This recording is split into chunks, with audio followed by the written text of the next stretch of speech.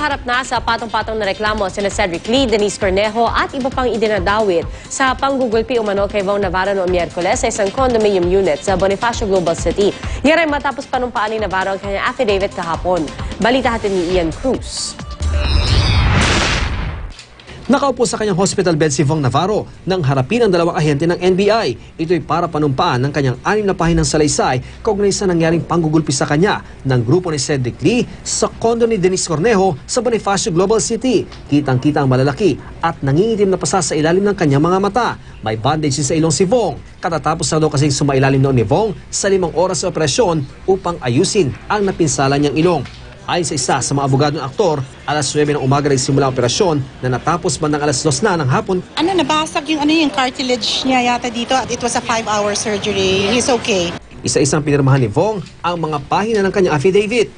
Matapos mapirmahan ang mga papeles, pinunumpaan ni Vong ang salaysay. Ikaw ba si Ferdinand Hippolyta Navarro? Ah, nakasulat dito ay yung salaysay. Ang lahat na nakasulat dito ay kayang katotohanan namin. Papala ko sa'yo na kung ikaw ay yung mapatunayan ng sinungaling ay maaari kang sabi ko.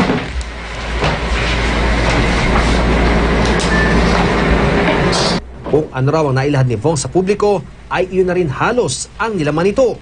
The NBI asked Wong to confirm his statement. And because Wong could not see very clearly what was in his statement that he executed before, the statement was read to him. Every statement was read to him for him to confirm it. Matapos ang panunumpa, agad inihain sa Department of Justice ang reklamo ni Vong. Ayon na tao ang dawit sa kanyang reklamo. Ito ay sina Cornejo at Lee, ang kapatid ni Lee na si Bernice, ang martial arts expert umanong dayuhan na si Simmer Ras, at apat pang John Doe.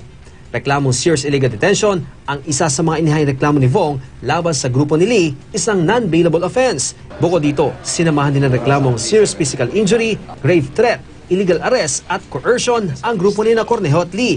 Hindi na rin daw ikinagulat ang abogado ni Vong ang tungkol naman sa pahayag ni na may mga ibang babae pa raw na nakipag-ugnayan sa kanila na di umano'y naging biktima rin na aktor.